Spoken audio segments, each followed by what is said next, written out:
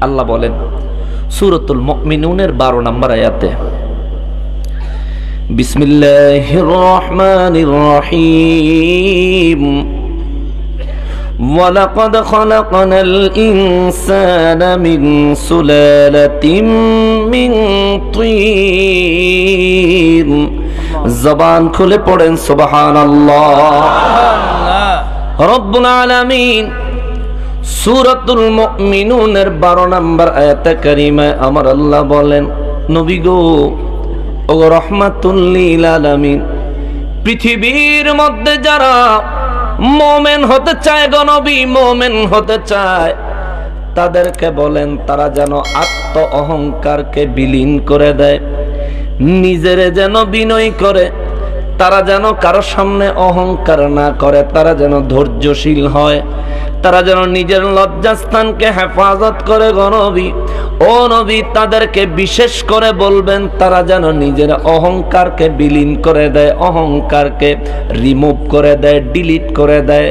আল্লাহ গো, ও রব্বুল আলামিন, আমার উম্মত অহংকার ছেড়ে দিবে, তার কারণ কি আল্লাহ বলেন, ওয়ালাকাদ খলাকনাল ইনসানা মিন সুলালাতিম মিন তিন আপনার উম্মতের আমি রব্বুল আলামিনের সৃষ্টি আদম নবী থেকে শুরু করে আপনি নবী পর্যন্ত, আপনি নবী থেকে শুরু করে কেয়ামত পর্যন্ত যত ধর্মের মানুষ আসছে, এখন আছে, ভবিষ্যতে আসবে, সব মানুষদের জন্য জানাইয়া দেন, আমি আল্লাহ ইনসান সৃষ্টি করেছি ইনসান সৃষ্টি করেছি।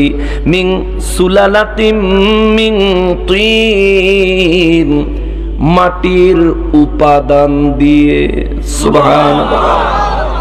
মাটি দিয়ে না, মাটির উপাদান দিয়ে কি বানাইছেন? কথা কন। কি বানাইছেন? মানুষ বানাইছেন। এখানে কোরআন শরীফে আল্লাহ মানুষের ইনসান বলেছেন। সুহান আল্লাহ কি বলছেন?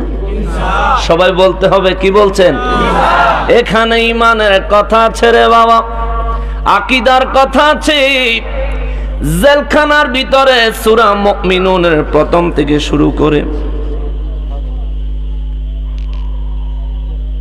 প্রথম থেকে শুরু করে বাইশ নাম্বার আয়াতে কারিমা পর্যন্ত একে একে প্রতিদিন মাগরিবের নামাজের পর বয়ান করে শোনাইছিলাম। আমার হাবা কন বয়ান করে প্রতিদিন শোনাইছি, বাইশ নাম্বার আয়াত পর্যন্ত গেছি। এই কারণে আসার সময় খুব বেশি কানছে তারা, হুজুর, আপনি চলে যান, আমরা দোয়া করি। এই বিপদে না থাকেন, কিন্তু হুজুর যদি আপনি থাকতেন, আমরা মনে হয় আরও কিছু শিখতে পারতাম। তো আমার মাথার টুপিটা ছিল একটা ফাগরি বান্ধনের টুপি। সেটা দিয়েছি একজন একজন পছন্দ করছে, হুজুর আপনার টুপিটা সুন্দর তারে দিয়েছি। তো বাবারে, একটু শোনেন না, আল্লাহ কয়, বন্দা, আমি ইনসান বানাইছি। ইনসান, বাসার বলে নাই। রব্বুল আলামিন বলেন, ওয়ালাকাদ খালাকানাল ইনসানা মিন সুলালাতিন মিন তিন। আল্লাহ কয়, আমি ইনসান বানাইছি, মাটি দিয়া না। মাটির উপাদান হইতে মাটির উপাদান কারা কয়? আলু গাছে আলু হয়, আলু হলো উপাদান। আম গাছে আম হয়, আম হলো উপাদান। তাল গাছে তাল হয়, তাল হলো উপাদান। আপেল গাছে আপেল হয়, আপেল হলো উপাদান। তরকারির যে কোনো গাছে তরকারি হয়, এটা হলো উপাদান। আল্লাহ কয় আমি তোগরে মাটি দিয়া বানাইছি তা না। মাটির থেকে মাটির থেকে উৎপন্ন হওয়া উৎপন্ন করা উপাদান দিয়ে আমি আল্লাহ তোদেরকে বানাইছি। কেমনে বানাইছে বিস্তারিত বর্ণনাটাও আল্লাহবার সামনে বলে দিছে। জোরে বলেন সুবহান আল্লাহ কিন্তু কালকে সকালে দেখবেন রে বাবা এই মুরাদনগরের যেই ওয়াহাবিরা আমার আজকের বয়ানটা শুনবে তারা কইব নকশবন্দি সব জীবন বড় করছে নবীর আল্লাহ নূর দিয়া বানাইছে। আজকে দলিল দিয়া গেছে, মানুষ বানাইছে মাটির উপাদান দিয়া। তাইলে নবীর তো মাটি দিয়া বানাইছে না রে বাবা, না না না। এখানে আল্লাহ নবীর কথা কয় নাই, কইছে ইনসান, বাসার কয় নাই। তারা কইব, ইনসান মানি মানুষ, নবী তো মানুষ না, তোর কথা মানি না, কারণ কোরআন শরীফের কোন জায়গায় আল্লাহ নবীর ইনসান কয়া মানুষ কয় নাই। বরং আল্লাহ কইছে, কুল ইন্নামা আনা বাশারুম মিসলুকুম। বলেন আমি তোমাদের মতো বাসার বাসার মানে আমি দেখতে তোমাদের মতো হাকিকতে তোমাদের মতো না। অতএব নবী হলেন বাসার আমরা হলাম ইনসান। আল্লাহর কোরআনের কোন জায়গায় আমাগরে আল্লাহ বাসার কয় নাই। আর আল্লাহর কোরআন- কোরআনুল করিমের কোন জায়গায় নবীরে আল্লাহ ইনসান কয় নাই। অতএব বোঝা গেল, নবীর জন্য বাসার শব্দ নির্বাচন করেছেন কে? আমাদের জন্য ইনসান শব্দ নির্বাচন করেছেন কে? তবে এখানে বাসারের কথা আছে। আমাদের দেশে বিশেষ করে মহাবীরা, বাতেল ফেরকারা, আমার নবীজিরে, তাদের মতো বানানোর কত চেষ্টা করে। কিন্তু বাবা রে বুঝতে হবে নবী কখনো উম্মতের মতো হয় না। উম্মত কখনো নবীর মতো হয় না। ছেলে কখনো বাবার মতো হয় না। বাবা কখনো ছেলের মতো হয় না। বউ কখনো মায়ের মতো হয় না। মা কখনো বউয়ের মতো হয় না। বুঝতে হবে বাবা, নবীর মতো যদি উম্মত তুমি দাবি করতে চাও আমার নূর নবীর আঙ্গুল মোবারকের ইশারায় আসমানের চাঁদ দুই টুকরা হয়ে গেছে। কিন্তু তুমি মানুষ, হাতের আঙ্গুলের ইশারা দিয়া গাছের পাতাও নাড়তে পারো না। ঠিক না আমার নূর নবী রহমাতুল্লিল আলামিন রাস্তা দিয়ে যখন চলতেন আসমানের মেঘমালা নূর নবীজির ছায়া দিত সুবহানাল্লাহ। গাছপালা তরুলতাগুলি আমার নূর নবী রহমাতুল্লিল আলামিনের ছায়া দিত। আমার নবীজি যখন হাজত মোবারক প্রস্রাব পায়খানা মোবারকের ব্যাগ হইতো মরুভূমির মধ্যে একদিন ব্যাগ হইলে আবু বকর রাদিয়াল্লাহর নবী কয় আবু বকর রে আমি হাজত ছাড়বো। আবু বকর রাদিয়াল্লাহ কয় ইয়া রাসূলুল্লাহ সাল্লাল্লাহু আলাইহি ওয়াসাল্লাম নবী গো এই জায়গায় তো কোনো পর্দার ব্যবস্থা নাই হুজুর। এখানে আপনি কেমনে হাজত ছাড়বেন? নবী কয় ওই যে পাশে জঙ্গল দেখা যায়। সুবহানাল্লাহ কয়। আবু বকর রাদিয়াল্লাহু কয় জি হুজুর। কয় ওখানে যায় কইবা আমি নবীর হাজতের ব্যাগ হয়েছে আমার পর্দার প্রয়োজন। আবু বকর রাদিয়াল্লাহু একটা দৌড় দিয়া গাছগুলারে ডাইকা কয় গাছের আরে রহমাতুল্লিল আলামিনের হাজত মোবারকের ব্যাগ হয়েছে। তিনি পর্দার জন্য পর্দার ব্যবস্থা করতে বলেছেন। সিদ্দিকে আকবর তাআলা আনহু ওই আল্লাহর কসম করে বলি, আমার চোখের সামনে গাছগুলো মাটির নিচ থেকে মূল সহকারে উঠে উঠে নূর নবীর সামনে যায়া পর্দার বেড়া হয়ে গেছে। আর আমি আর আপনি, আমি আর আপনি টিনের বাথরুমে বাথরুম করতে করতে পানি ডালতে ডালতে নিচে দিয়া মরিচায় খায়ালায়। শেষে সালা বান্ডা দেওয়ান লাগে। ইজ্জত দেখা যায়। ঠিক নেই তাহলে নবী আর আমি এক। এক? আচ্ছা। আমি আর আপনি জন্মগ্রহণ করেছি। আমার ভাইয়েরা কয়, নবীও বেলে জন্মগ্রহণ করছে হের মতন। ওরে আমার বাইরে আমি যখন জমিনে আসছি, মায়ের লজ্জাস্থান দিয়ে আসছি, আমার নবী মায়ের লজ্জাস্থান দিয়ে আসে নাই। সুবহানাল্লাহ। মায়ের নাবির দুই আঙ্গুল পাশ দিয়া, ডান পাশ দিয়ে আমার নূর নবী পৃথিবীর জমিনে আগমন করেছেন। আমার দয়াল নবীজির আগমন সিস্টেমের বিজ্ঞানীরা রিসার্চ করতে করতে এখন মা বন্ধের সিজারের আবিষ্কার হইছে। সুবহানাল্লাহ। বিজ্ঞানী চিন্তা করছে, আরে বাচ্চা যদি মায়ের প্রসব রাস্তা দিয়ে যদি প্রসব না হয়, তাহলে তো ভিন্ন কোনো রাস্তা অবশ্যই আছে। না হলে রহমতুল্লিল আলমিন কীভাবে বাইরে কদম রাখলেন?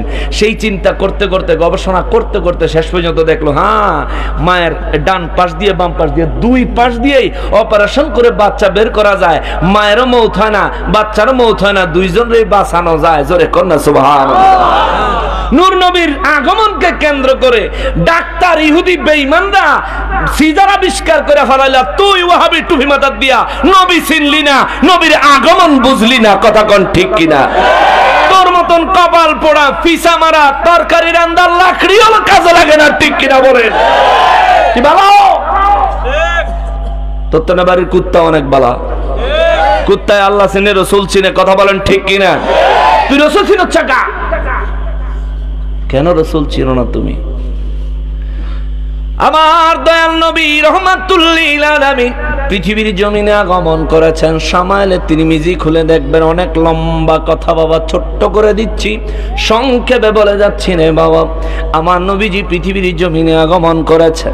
আমরাও পৃথিবীতে আসছি, আমাদের জমিনে আসার সময় আগে আসছে মাথা, পরে আসছে হাত, পরে আসছে পা। আর আমার নূর নবী রহমাতুল্লিল আলামিন মায়ের গর্ভ থেকে জমিনে আগমন করেছেন।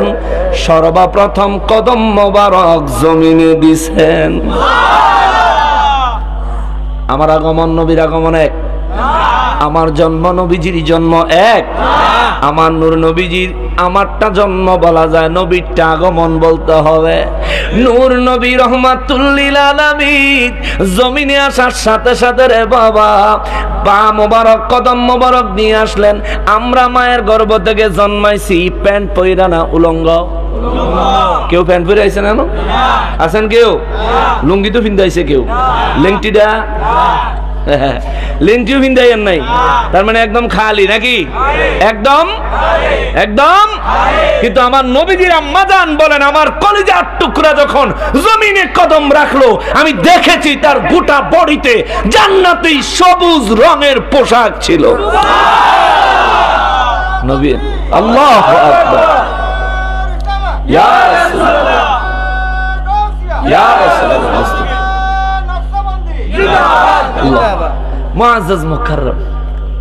তাহলে আমি আর নবী কি এক? আমার আশা নবীজির আগমন কি এক? আরও আসেন। রবিউল আউয়াল মাসে নয় তারিখে নূর নবীজির আগমন হলো। নবী আমার আগমন হলে নয় তারিখে মা আমেনা দেখছেন নয় তারিখে নবীজির আগমন হয়েছে।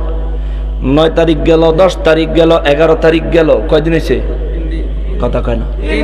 তিন দিন। পর্যন্ত নবীজির আম্মা যান নবীজির খুঁজে পায় নাই। সোহান আগমন হয়েছে। তিন দিন ধরে খুঁজে পাওয়া যায় না। মা মেনা বলেন কেন গো আম্মা যান? নূর নবীজির তিন দিন খুঁজে পাওয়া যায় নাই, কারণটা কি? অনেক দীর্ঘ আলোচনা, সংক্ষেপ করে দিচ্ছি। তিনি বলেন, একদিন ফেরেস্তারা ওনাকে নিয়ে গেলেন ফেরেস্তারা নিয়ে যায়, একদিন পর ফেরত দিলেন। আবার মেঘমালা লয়া গেল, আবার তারে ফেরত দিলেন। আবার মেঘমালা লয়া গেল। তিন দিন পরে আমার কোলে ফেরত দেওয়ার আগে একটা আবার শুনলাম, কে যেন কইল, আমার বন্ধুরে এইবার তার মায়ের কোলে ফিরাইয়া দা।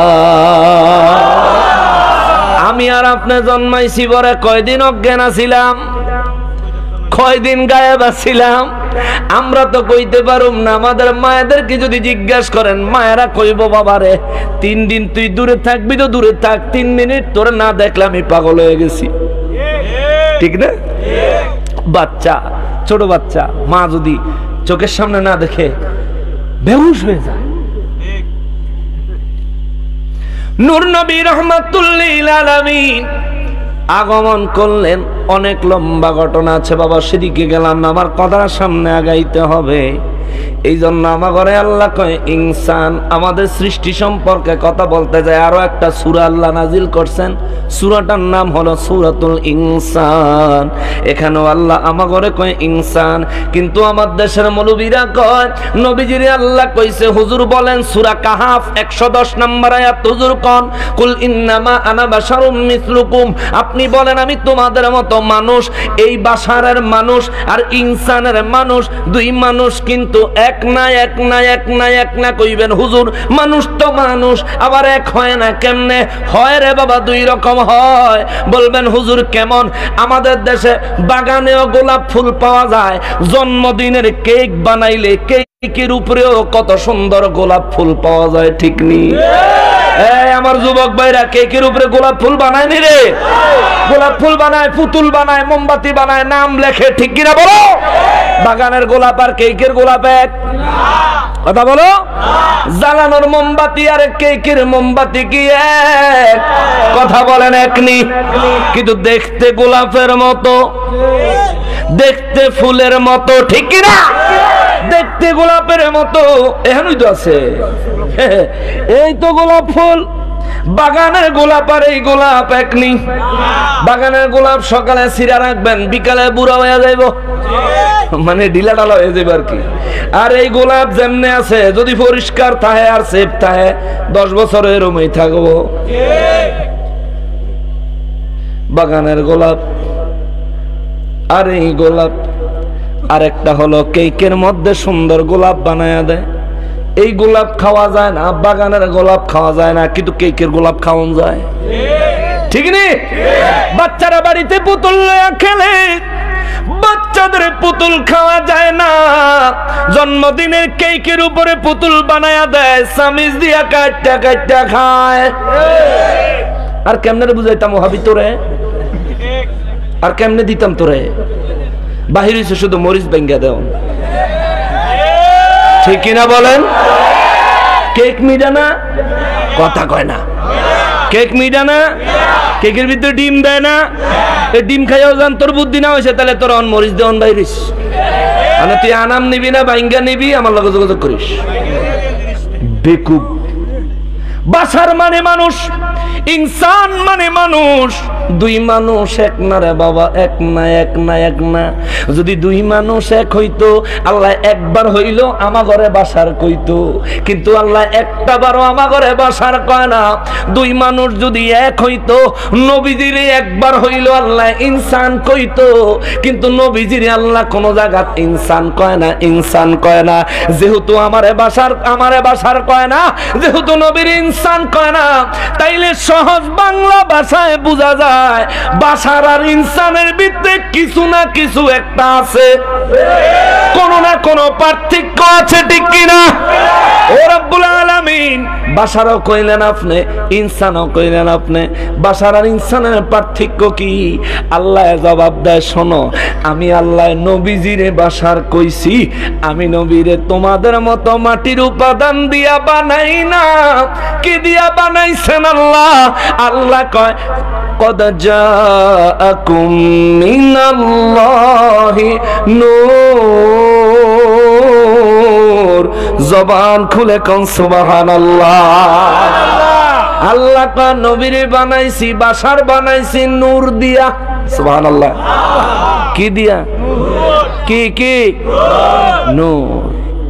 আর আমার ঘরে বানাইছে আল্লাহ কয় খলাকনাল ইনসানা মিন সুলালাতিম মিন তিন তোমার ঘরে আমি আল্লাহ বানাইছি মাটির উপাদান, ফল, মূল দিয়া। সুবহান ও হাবিরা রে, তোরা আমার নবীরও মাডি কস কস আমরাও মাডি, নবীও মাডি, দূর বাদাই মা তুইও মাডি না।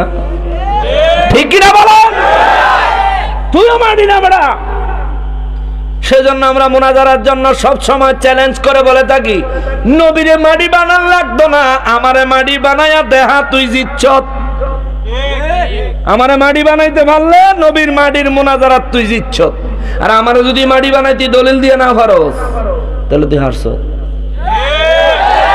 আচ্ছা আমার বাদ দেখ একটু সহজ করে দেই। না একটু কঠিন করে দিব সহজ করে দেই? এই ওয়াহাবি নিজে হাতে, নিজে মাটির এটা প্রমাণ করো। যেদিন হাতে কইবা আমি মাটির নির্কাশি দিয়া, বাড়ি দিয়া ছিদ্র করে মরিচ গাছ লাগা দিবে ঠিক আছে না? ছিদ্র করে করে মরিচ গাছ লাগাই দিবে বলে আমাকে বাগানো আগানো বাগানো ঘরে বাইরে সামনে পিছনে খেত জমি তিরি খেত লাল খেত যা আছে সব জায়গার মধ্যে আমরা যা মন চায় তা লাগাই। তুই যখন মাটি আয় তোরা লাগাই কতক্ষণ? মরিচ গাছ মরিচ গাছ লাগাই দিবেন বুঝছেন? মরিচ গাছ। তবে মরিচ গাছ লাগানোর আগে আগে কতক্ষণ? কোবাইয়া আল চাষ কইরা গোস্য তারপর হুকনা মরিচের বেশি বানাইবেন সারা হইব পরে আবার লাগাইবেন। আল্লাহ হেদায়ত দিত তা করে। কোন আকল থেকে তারা নবীরে তাদের মতো কয়? এ বাদাই মা, আমার নবীর আল্লাহ মেরাজে নিছে তুই বাদাই মারে নেই নেই, ঠিক কিনা বলে? আমার নবীর আল্লাহ মেরাজ নিচ্ছে আমার নবীর আল্লাহ আসমানি একশো চারটা কিতাবের মধ্যে শ্রেষ্ঠ কিতাব কোরআনুল করিম দিয়েছে। তুই বাদাই মারে নুরানি কায়দা ওদায় নাই। তুই এইসব নবীর মতন কইতি। বেকুবের ডিম কোনানে আর পাগলের ডিম খাইছে। আরও শুনেন। এখন তারা কইব, বাসার বানাইছে কি দিয়া? এইটা কইলে যখন কই আল্লাহ কইছে কত যা কুমিন আল্লাহ আল্লাহ কই এসে গেছে তোমাদের মাঝে, আমার পক্ষ থেকে নূর। এই বাসার তোমাদের মতো মাটির নির্যাস থেকে তৈরি বাসার না। এই বাসার হলো নূরের বাসার তোমরা হইলে ইনসান। এখন তারা সুরা সদের একাত্তর নাম্বার আয়াত দিব কইব, আল্লাহ যেন কইছে, ইজ কল রব্বুকা লিল মালাইকাতি ইন্নী খলিকুম বাশারাম মিন তিন। একাত্তর সূরা সদের একাত্তর নাম্বার আয়াতে আল্লাহ কয়, আমি ওগো নবী, ওগো রহমাতুল লিল আলামিন মনে করেন ওই দিনের কথা, যেই দিন আমি আল্লাহ ফেরেশতাদেরকে কইছিলাম, আমি মাটি থেকে বাসার মানে মানুষ বানাবো। এখানে কইছে আল্লাহ, বাসার বানাইবো।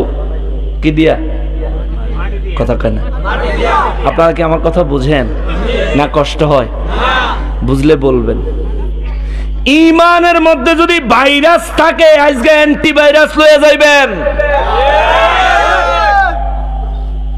আমার পিছে এত দুশ্মন এত শত্রু এত ভিডিও এত লেখালেখি এত কেন একটাই অপরাধ আমার যা আছে হক কথা কিতাব খুললে কইয়া দেয় মামুর ভূতেরা কিতাব দিয়া মোকাবেলা করতে পারে না সুরার ঘরে সুরারা খালি মানুষের বউর পিছে ঘুরে কি রুচি খারাপ কি রুচিটা তার কত খারাপ চিন্তা করে বাবার হাতে ঘুরে ঘুরে ঘুরে তো আস্তে আস্তে সেঞ্চুরি করতেছে অনেক আগ গেলেছে। বাংলাদেশটা খাইট করলি ভাড়া মাইসের বউ লয়ে যাব ব্যাগ, কল। তোরা লাগে কি অনবেস্তে বেটির কি অভাব হয়েছে কেন দেয় না দেয় না দেয় না। অভাব হয়েছে অগরে দেয় না। মাঝে সাত ফলাবে না রাকাম করে অগরে বউ দিব কেনা? কার মাইয়া দিব? আমার মাইয়া থাকলে আমি দিতাম না। মানুষের কার মাইয়া কারা দিব? এত এত চরিত্র খারাপ। যে ব্যক্তির চরিত্র খারাপ, ওই ব্যক্তি আরেকজনের বউর দিকে নজর দেয়। অথচ আল্লাহ কি কইছে জানেন? মোমেন হওয়ার জন্য আটটা শর্তের মধ্যে একটা শর্ত।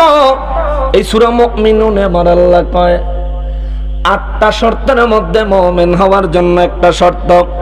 আল্লাহ কয়, ওয়াল্লাযীনা হুম আল্লাহ কয়, ফামান ইবতাগা ওয়ারাআ যালিকা ফাউলাইকা হুমুল আদুন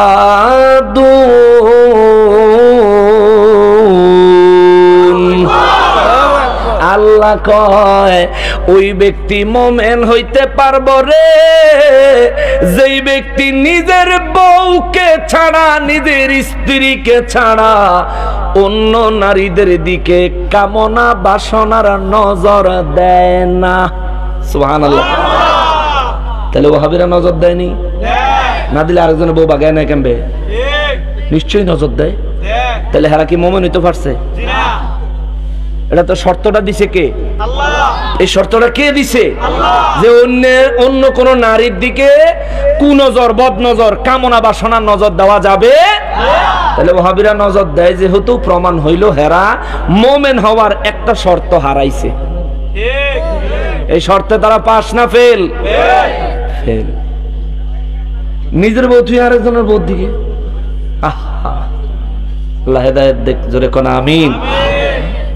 মুসলমানের আমার দেশে এই বাতিলেরা সব সময় নবীজির মাটি বানানোর জন্য সুরা সাদের একাত্তর নম্বর একটা পেশ করে। কয়, আল্লাহ কইছে, মাটি হইতে বাসার বানাইছে। আমি জিজ্ঞেস করব, ভাই, আল্লাহ কারে কইছে? ও ভাই, আল্লাহ ফেরেস্তা করে কইছে। আল্লাহ যেন ফেরেস্তা করে কথাটা কইলো। কে শুনছে, কে দেখছে? নবীজি দেখছে, নবীজি শুনছে। তুমি কেমনে বুঝলা? কইব, আল্লাহ তো কইছে, ইজ ক্বালা রাব্বুকা লিল মালাইকাতি ইন্নী খালিকুম বাশারাম মিন যে কিতাব খুলবেন। আল্লাহ কইছে, হুজুর, স্মরণ করেন ওই দিনের কথা। যেদিন আপনি দেখছিলেন, আপনার সামনে আমি আল্লাহ ফেরেস্তা করে কইছিলাম, ইন্নি আমি সিদ্ধান্ত নিছি, মাটি হইতে বাসার বানাবো। জোরে কোন ওরে আমার বাইরে তুমি কইবা, নবীরে আল্লাহ কইছে, হুজুর, স্মরণ করেন ওই দিনের কথা যেদিন আপনি দেখছেন, খেয়াল করেন, যেদিন আপনি দেখছেন, আপনি দেখেছেন, আপনার সামনে ফেরেস্তাদেরকে আমি রব্বুল আলামিন বলেছিলাম, আমি আল্লাহ প্রস্তাব পেশ করেছিলাম, আমি রব্বুল আলামিন ফেরেস্তাদেরকে বললাম, আমি মাটি হইতে একজন মানুষ সৃষ্টি করব। মিং ইন্নি খালিকুম বাশারান। বাশারান মানে একজন বাশার। এটা এক বছর। আরবি দ্বিতীয় পত্র যারা বুঝেন, আলেম থাকলে তারা অবশ্যই বুঝবে। এটা এক বছর। একজন বাসার একজন মানুষ বানাবে। আচ্ছা এই কথাটা কইতাছে কে? কারে কয়? কথা কন, কারে কয়? নবীজিরে। নবীজিরে কইতাছে। হুজুর মনে করেন ওই দিনের কথা, যেদিন আমি ফেরেস্তা করে কইছি। অর্থাৎ ফেরেস্তা করে আল্লাহ এই কথাটা যে কইছে, এই কথার সাক্ষী কে? নবীজি। বুঝ- বুঝতেছেন না? আল্লাহ বলতেছেন, আর এই কথা সাক্ষী নবীজিরে মানতেছেন, যার কারণে আল্লাহ হুজুর, মনে করেন ওই দিনের কথা, যেদিন আমি ফেরেস্তা করে কইছিলাম। সুবহানাল্লাহ তার মানে আল্লাহর এই কথাটা সাক্ষী মানছে আমার নবীজিরে। কে মানছে? কে মানছে? আল্লাহ। তাইলে যেই ঘটনা নবীজি দেখছে খেয়াল রাখবেন তাহলে যেদিন আল্লাহ এই প্রস্তাব দেয় এই প্রস্তাবটা আমার আল্লাহ যেদিন আমার নবীজিকে ফেরেস্তাদেরকে যেদিন এই সিদ্ধান্তটা জানায় সেদিন ওখানে আমার নবী আসেনি? আছে না? না থাকলে নবীর আল্লাহ কইতো কাবেলে হুজুর মনে আছে ওই দিনের কথা? আজকে মাহফিল চেয়ারম্যান সাহেব আছে আমি কালকে যদি ফোন করে গেছিলাম সাহেব মনে আছে না কালকে হ মনে আছে তো? আপনার আগে আমি বক্তব্য দিছিলাম। বয়ান শুনছি, পুরো টাইম বসে বসে। আর যদি আপনাকে এখানে যে ব্যক্তি আসে নাই, ওনারা যদি ফোন করে মনে আছে না কালকের কথা? কবে আপনার যে পাগল হয়েছেন বা জানেনি কইব না। আমি কালকে মাহফিল আসছিলাম আমি কেমন ঘুমু? তো আল্লাহ নবীজিরে কয়, হুজুর, মনে করেন ওই দিনের কথা? যেদিন আমি ফেরেস্তাদেরকে কইছিলাম, একজন মানুষ বানামুরে মাটি হইতে। কে কয়? আব্দুল ইবনে আব্বাস রাদিয়াল্লাহু তাফসীর ইবনে আব্বাস আমার হাতে। আব্দুল ইবনে আব্বাস রাদিয়াল্লাহু আল্লাহ আনহু কয়, হুজুর, হে আল্লাহ ফেরেস্তা করে কইলো, একজন মানুষ বানাইবো মাড়ি হইতে। হুজুর, ওই একজন মানুষ কে? কার কথা আল্লাহ বলেছেন? আমার নবী জবাব দিয়েছেন, হুয়া আদম সফিউল্লাহ। ওই ব্যক্তি হলেন আদম নবী, জোরে বলেন, সুবহানাল্লাহ। আদম নবী একজন মানুষ বানাইব মাটি হইতে সিদ্ধান্ত কার? এই আদম নবীর কথাই না যদি আমার নবীর সানে লাগে দেয় তাহলে এটা ইমানদারি না কুফুরি? ধরে বলেন, ইমানদারি না কুফুরি? এটা কি ন্যায় না অন্যায়? এটা কি ভদ্রলোক না গাজা ঘর দেখুক এটা। বুঝতে হবে। এই উচিত কথাটির আমি ডাট মতন কইয়ার লেগে আমার দোষ হইছে। কথা কইছে, যা আছে কপালে দেখা দেবো সকালে। হয়তো আসি নয়তো গেছি। খেলা হবে।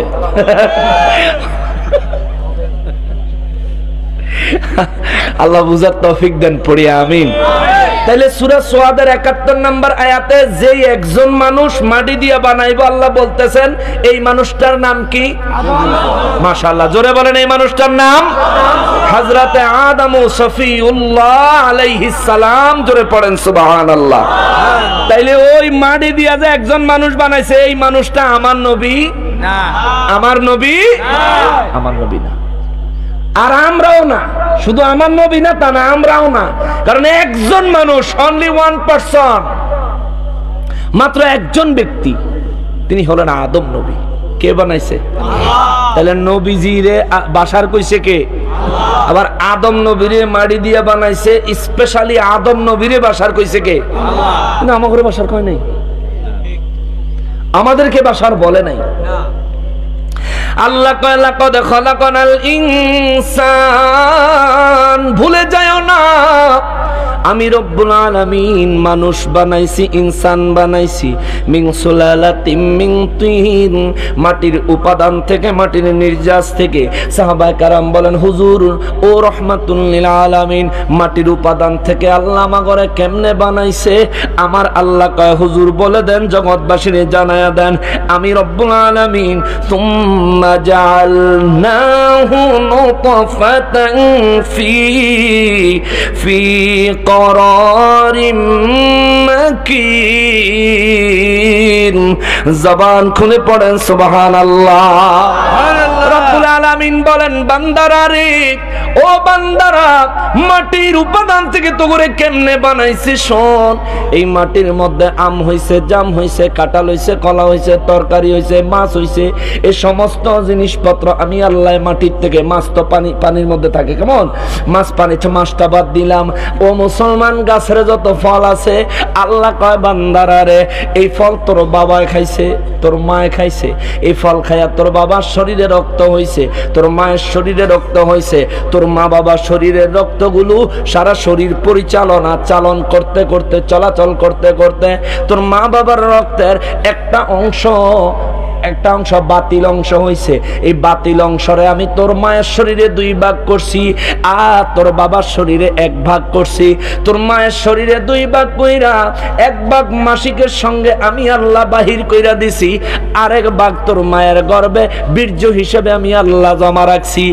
আর আল্লাহ তোর বাবার শরীরের ওই রক্তগুলা আমি রব্বুল আলামিন বীর্যতে পরিণত করে দিয়েছি। তোমার মা তোমার বাবার শারীরিক সম্পর্কের মাধ্যমে আমি রব্বুল আলামিন তোমার বাবার থেকে হোক তোমার মায়ের থেকে হোক দুইজনের যে কোনো একজনের এই নুতফা থেকে বীর্য থেকে আমি আল্লাহ তোমার মায়ের গর্বে সংরক্ষণ কইরা চল্লিশ দিন পর্যন্ত এমনি রাখছি। মানুষ বাহাদুরি করিস না রে মানুষ। মাস্তানি করিস না, জোর দেখাইস না, যৌবনের তাকত দেখাইস না। তুই একদিন কিচ্ছু ছিলি না, কিচ্ছু ছিলি না, একেবারে কিছুই ছিলি না তুই। আমি আল্লাহ তোর বাবার, তোর মায়ের শরীরের থেকে বীর্য বাহির করে নোৎফা আরবিতে বলা হয় নোৎফা আমি নোৎফা তোর মায়ের গর্বে একটা জায়গায় সংরক্ষণ করছি। দুনিয়ার কোনো ডাক্তার যদি চেষ্টা করে রে, তোর মায়ের ওই জায়গার মধ্যে এই নুৎফা সংরক্ষণ করতে পারবে না। এমন মেশিন আবিষ্কার হয় নাই। কিন্তু আমি রব্বুল আলামিন তোর মায়ের গর্বে তোরে সংরক্ষণ কইরা কতদিন রাখছে? কতদিন? এরপরে কি হইল শুনবেন নি? শুনবেন? দেরি হয়ে যাচ্ছে? বারোটা বাজে দিতেছে কিন্তু। অসুবিধা নাই তো না?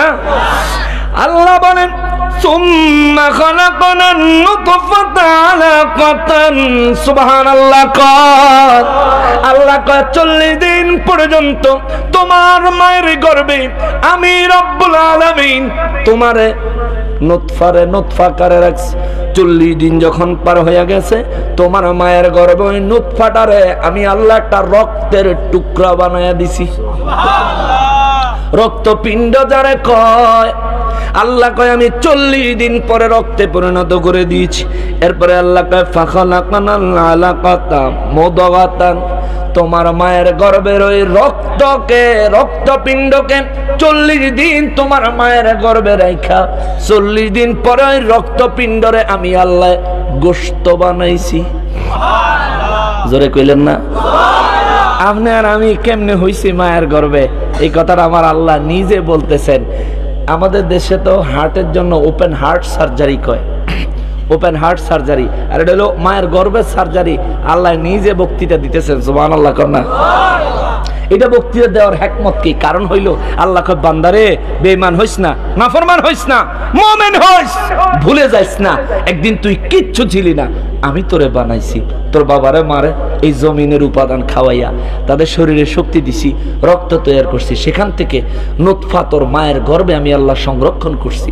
চল্লিশ দিন রাখছি নুৎফা হিসাবে তোরে রে। চল্লিশ দিন তুই নুৎফায় আসিলি এক ফোঁটা পানি। চল্লিশ দিন পরে সেটারে রক্তপিণ্ড বানাইছি। এটারে আবার চল্লিশ দিন রক্তপিণ্ডই রাখছি। চল্লিশ দিন পরে এটারে গোস্তের টুকরায় আমি আল্লাহ পরিণত করেছি। তিন চল্লিশে কত হইল? কত হইছে? একশো বিশ দিন, তিন মাস হইলে আমাদের দেশে দেখবেন হাসপাতালে আল্ট্রাসাউন্ড করলে ডাক্তার একা খবর আছে। ঠিক না? সুখবর আছে? খবর আছে মশা মুসলমানের রব্বুল আলামিন তারপরে কয় ফাখলাকানাল মুদগাতা عظاما فكسونا العظام لحما আল্লাহ কয় বান্দারি ও বান্দা তোর এই গোষ্ঠের টুকরা বানায়া এই গোষ্ঠের টুকরার আবার হাড্ডি বানাইছি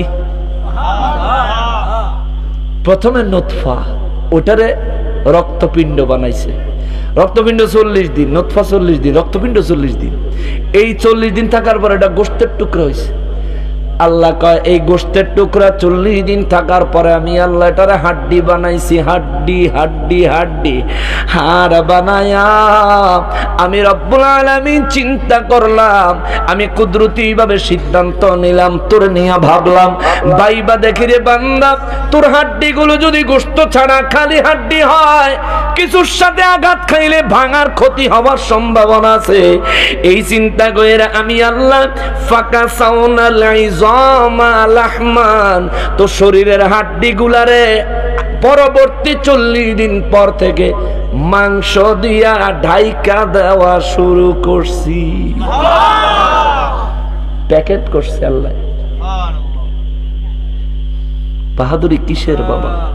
এক ফোঁটা পানি ছিলাম, পানি। আর কিচ্ছু ছিলাম না, নাম ছিল না, অস্তিত্ব ছিল না। এই জন্য আমি একটা গজলে মাঝে মধ্যে বলি, ওরে দুনিয়া দুনিয়া বলে কর কিসের ভাবনা? দুনিয়া দুনিয়া বলে কর কিসের ভাবনা? দুনিয়া তো দূরের কথা, আমিও আমার না। দুনিয়া তো দূরের কথা, আমিও আমার না। ঠিক কিনা বলে? দুনিয়া তো দূরের কথা, কিসের বাহাদুরি? আমিও আমার না রে বাবা, আমিও আমার না। আপনাদের কষ্ট হচ্ছে। অনেকে উঠতেছে হাজত আছে মনে হয়। সুবহান আল্লাহ আচ্ছা। হেরা ফাললে অসুবিধা নাই।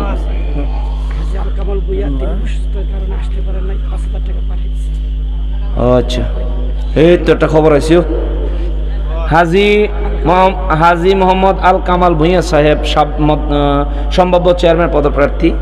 তিনি অসুস্থতার কারণে আসতে পারে নাই কিন্তু মাহফিল সৌন্দর্যের জন্য, মাহফিলের আয়োজনের জন্য তিনি পাঁচ হাজার টাকা অনুদান পাঠাইছে, আলহামদুলিল্লাহ কন অসুস্থ আসতে পারে নাই, কিন্তু তাও শরিক হইছে, মিস করে নাই। আল্লাহ তার এই দান, সদকা কবুল করেন পড়িয়া আমিন। জোরে কন্যা আমিন। এরপরে খেয়াল করেন বাবা। যেহেতু সে এই সম্ভাব্য চেয়ারম্যান সাহেব দিয়ে লাইছে, আমরাও কিছু কিছু দিয়ে লাই হ্যাঁ? দিয়ে লাই দিয়ে লাই না আ- আ- আ- আগে লইলে কত? পাঁচ মার হাবা রানিং চেয়ারম্যান সাহেব না? আরও এক হাজার লাগবে। দুইবারে। তাহলে আরও দুই হাজার লাগবে। যে বেটা চেয়ারম্যান হয় নাই স্বপ্ন দেখতেছে হে বেড়েই পাঁচ হাজার। আর আমাকে ভাই আর নতুন বার হইছে বত্রিশটা পঁয়ত্রিশটা মাহফিলে যাই। আর তাই নতুন বার হইছে দুই একটা যায়। তাই না? ও বুঝতে তো না। ও না না চেয়ারম্যান সাহেব সাপোর্টার আছে। আরও এক হাজার আচ্ছা যাক পাঁচ হাজার দিই আরও এক হাজার বলে মাসাল্লাহ যাক ইজ্জত রাখছে রে বাবার। আলহামদুলিল্লাহ আল্লাহ কবুল করেন পড়িয়া আমিন। আসলে এটা মহব্বতের ব্যাপার। চারশো পাঁচ হাজার দিছিল আরও এক হাজার দিতেছে আলহামদুলিল্লাহ। আল্লাহ কবুল করেন। এই বালা মানুষের বারে বারে চেয়ারম্যান বানাইবেন বুঝছেন? ভালো মানুষ ভালো মানুষ বারে বারে চেয়ারম্যান হইলে আমরা কোনো সমস্যা আছে? যে এই চেয়ারম্যান হইবো একজন ভালো মানুষ চাই। যদি একজন ভালো মানুষ ফায়াই যান তাহলে হেবেটার আর পাল্টানোর দরকারটা কি? তাও না যদি না যদি বালা না হয় আমি কয়ে যাই এমিয়া খালি আপনাকে চেয়ারম্যান আজকে তো আমারও চেয়ারম্যান সব ঠিকঠাক আছে তো না? আচ্ছা আগে যা গেছে গেছে। সামনের দিকে যদি বালা না হয় আমারে কইেন হ্যাঁ আমি চেয়ারম্যান সাহেবরে কমো ফোন করে কিউ চেয়ারম্যান সাহেব মানুষটি বেলা কষ্ট পায়। কইলে ইনশাল্লাহ আর সমস্যা হইলে যায় কইেন বেচারা তো পুরো ইউনিয়ন লইয়া কাম করে। আপনার বাড়ির কাছে সমস্যা হয়ে রয়েছে এবারে দেখা গেছে, ছয় একবার আইতে পারল না ব্যস্ততার লেগে। আপনারা গিয়া তো কইতে হইব নাকি? কইবেন। নির্বাচনের আগে আগে হইলে যায় কোন লাগতো না, আপনাকে বাড়ির বোর্ডের লেগে আইলেই দেখব। আর নির এই যে দেখছ। সারা বছর ও সারা না না। সারা বছর তাইলে ফিট ফুল ফিট তাইলে যেন আমার চেয়ারম্যান কইছে তাহলে খারাপ কই নেই? তাহেরি সাহেবরে মামলা দিছে হিরো হইছে জিরো হয় নাই। আলাউদ্দিন জিহাদের মামলা দিছে হিরো হইছে জিরো হয় নাই। তোমরা ওখানে বিশ্রাই বিশ্রাই বেড়ি করে ধীরে ধীরে আমরা মামলা দাও। তোকে হুজুর গো খবর রাখস নি রে সোর তোকে দুই বাচ্চা দুই বাচ্চা লই এই বেটা রানিং বেটা বউ লয়ে বাগায় লয়ে যাস গা। তালাকো দিতে টাইম দেয় না ঈদ তো পালন করতে টাইম দেয় না। এই ব্যাপারে কোনো ওয়াজ নাই হে গো। হেরা ভিডিও করে আমাকে বিরুদ্ধে। কর কর কর, কিছু একটা তো করতেইব নাকি? কাম কর নাহলে তুই ইয়াবার ফেন্সি ডিলে ব্যবসা ধরবি, যে সোত তুই। আল্লাহ হেদায়েত দেখ, জোরে করে, আমিন। সমাজের একটা মানুষ যদি দোষী হয় তার সমালোচনা করলে এই লোকটা কি ভালো হইব না আরও খারাপ হইব? খারাপ হইব। কোন একটা মানুষ যদি অপরাধ করে তার অপরাধটা তুলে ধরে সত্য কিনা যাচাই করবেন আমি বলে আটটা দশটা বিয়ে করছি। কি অবস্থা চেয়ারম্যান সাহেব? বুঝছেন? কিন্তু অতটি বিয়ে করলাম একটা মামলা ওই লোকে চিন্তার ব্যাপার না। তবে একটা না মামলা দিছে বাহিরি তো থাকব। আজকে লাইভও কইছিলাম বলে, হেডি বিশ্রায় বাইর করে আমাকে বাইর পাঠাই দিও। কি মুসিবত কি মুসিবত। যাই হোক বাবাজি, মনে রাখবেন, আপনি যদি ব্যবসা করেন, আপনার ব্যবসায়ী প্রতিপক্ষ থাকবে। আপনি যদি চাকরি করেন, আপনার চাকরির প্রতিপক্ষ থাকবে, আমার ভাই চেয়ারম্যানই করে চেয়ারম্যানের প্রতিপক্ষ আছে। যিনি মেম্বারই করেন, তিনি মেম্বারের প্রতিপক্ষ আছে। প্রত্যেকটা মানুষের নিজের কর্মের প্রতিপক্ষ থাকে, আমাদেরও প্রতিপক্ষ আছে। তবে চেয়ারম্যান সাহেবের প্রতিপক্ষ যে চেয়ারম্যান সাহেব, ওনাদের আবার বাইরে যাই হোক ভিতরে কিন্তু ওনারা ভালো আছে। বিশ্বাস হয়নি? তলে তলে হারা কিন্তু ঠিক, বিশ্বাস হয়নি? নিজের চোখে দেখে আইছি। আওয়ামী লীগের বিএনপি ফিডে মাথা ফাটাফাটি করে না আওয়ামী লীগের বিএনপি দুই নেতা একসাথে এক ছেলে দেখেছি এক ছেলে দুইজনে কি সুন্দর করে একজনে টমেটো কাটে একজনে সালাদ বানায় আরেকজনে মুড়ি বানায় আরেকজনে পেঁয়াজ কাটে সরষের তেল দেয় ধনিয়া পাতা দেয়। আমি কি কি ভাই আপনার লেগে বাইরে দিয়ে মানুষ সব কোরবান হয়ে যাইতেছে আর আপনারা এখন কয় আরে না মানুষের কি আমরা কইছি নাকি লেগলি করতে?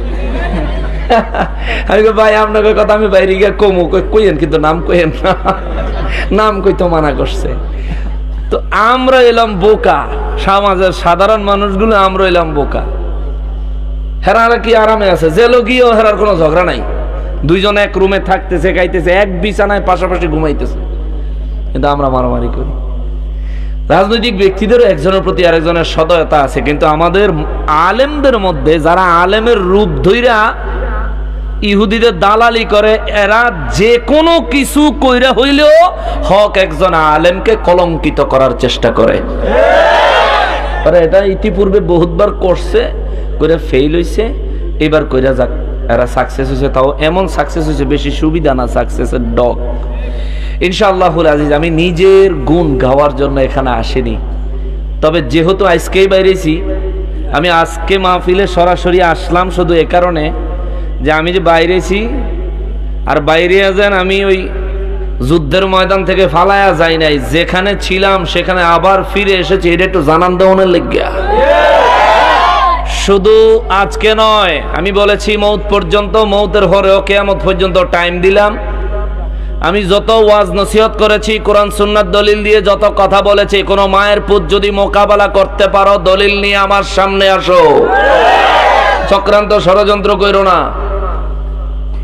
চক্রান্ত ষড়যন্ত্র কইরো না। কেউ চক্রান্ত ষড়যন্ত্র করে লাভবান হতে পারে নাই, তোমরাও হতে পারবে না, ঠিক কিনা বলেন? কেসিনোর ব্যবসা করে জেলখানা ঢুকে গেছে আমাকে দেশ। করোনার ব্যবসা করে জেলখানা ঢুকে গেছে সপ্তাহে দেখেছি দেওয়া হয়েছে দেখাইলাম তো যাই হোক, ওটা একটা জগৎ বাবা। আজকে আমি কোরআন শরীফে সুরতুল মুমিনুনের বারো নাম্বার আর তেরো নাম্বার আয়াতে কারিমা তেলাওয়াত করছি। জেলখানায় যাওয়ার পরে কিছু জিনিস ফিল করলাম। এক নাম্বার, পুরুষদের জেলখানায় মেয়ে লোক নাই। দুই নাম্বার, মোবাইল ফোন নাই। তিন নাম্বার, রোজগারের চিন্তা নাই। চার নাম্বার, খাবার ব্যবস্থা হবে কি হবে না কোনো চিন্তা নাই। কাজ একটা বাকি থাকে। শুধু ঘুমাইবেন আর খাইবেন। আর যদি আপনি মুসলমান হন চব্বিশ ঘণ্টা আল্লাহর এবাদত করবেন। সুহান আল্লাহ আরও একটা জিনিস চিন্তা করলাম। কত তাগরাই যুবক বাথরুমে গিয়া বসে বসে কান্দে। জানালার পাশে বসে দাঁড়ায় দাঁড়ায় কান্দে। জেলের দরজার শিখ ধরে ধরে কান্দে। কেন কান্দ? বলে, হুজুর, বিবি নাই, সন্তান নাই, কেউ রে দেখি না, কারও কাছে যাইতে পারি না। চাইলে একটু ফোনে কথাও বলতে পারি না। আমি বললাম, ভাই, এটা দুনিয়ার জাহান নাম চাইলে এখান থেকে কেউ তোমার জামিন করাইতে পারব। কিন্তু আখেরাতে একটা জাহান নাম আছে রে। এখানে তো কেউ মারে না সমমতো খাবার দিয়ে যায়। কিন্তু ওখানে মায়ের হবে। আজাব হবে আগুন জ্বলবে। কোরআন সন্না বলে একটা মানুষের দেহ প্রতিদিন পাঁচবার ধ্বংস হইব আবার পাঁচবার নতুন করে তৈরি হইব কিন্তু মানুষ মরতো না কষ্ট পাইব। আল্লাহ আকবার। দুনিয়ার জেলখানায় যারা গেছে এটা দুনিয়ার মধ্যে একটা আলাদা জগৎ। তো আসিলাম ছাব্বিশ তারিখের দিনা আজকে কয় তারিখ? সতেরো তারিখ। মোটামুটি আঠারো দিন ছিলাম।